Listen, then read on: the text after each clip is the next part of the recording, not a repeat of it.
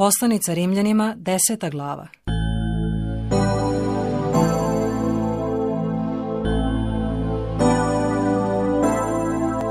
Braćo, želja moga srca i moja molitva Bogu za njih usmerena je na njihovo spasenje.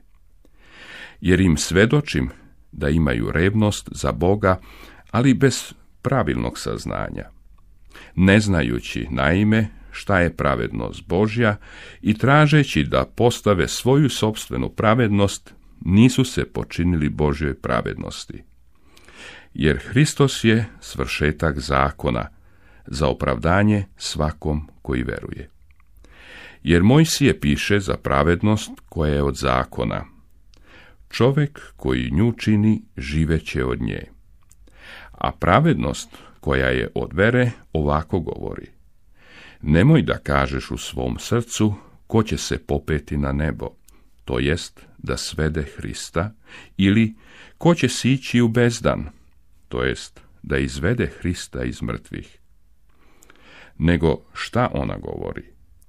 Blizu ti je reč u tvojim ustima i u tvom srcu, to jest reč vere koju mi propovedamo.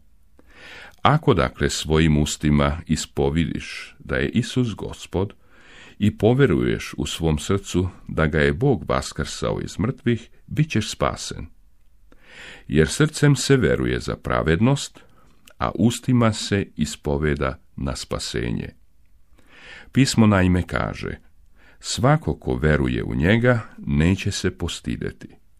Jer nema razlike između judejina i grka, jedan Isti gospod je nad svima, bogat za sve koji ga priznaju, jer svako ko prizove ime gospodnje, bit će spasen. Kako će dakle prizvati onoga u koga nisu poverovali? A kako će verovati u onoga za koga nisu čuli? Kako će pak čuti bez propovednika? I kako će propovedati ako nisu poslani? Kao što je napisano, kako su mile noge onih koji javljaju dobra.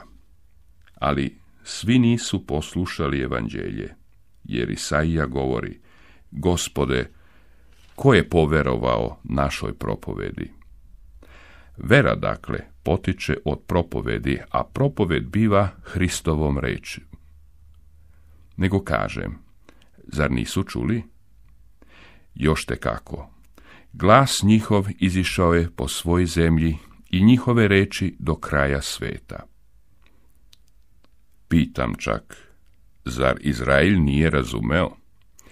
Moj je prvi govori, izazvaću vas da se u revnosti ugledate na narod koji nije moj narod i probudit ću vama gnev prema jednom nerazumnom narodu. Isaija se pak usuđuje i govori, nađoše me koji me nisu tražili i javih se onima koji za mene nisu pitali. A Izraelju govori, vazdan pružak svoje ruke neposlušnom i jogunastom narodu.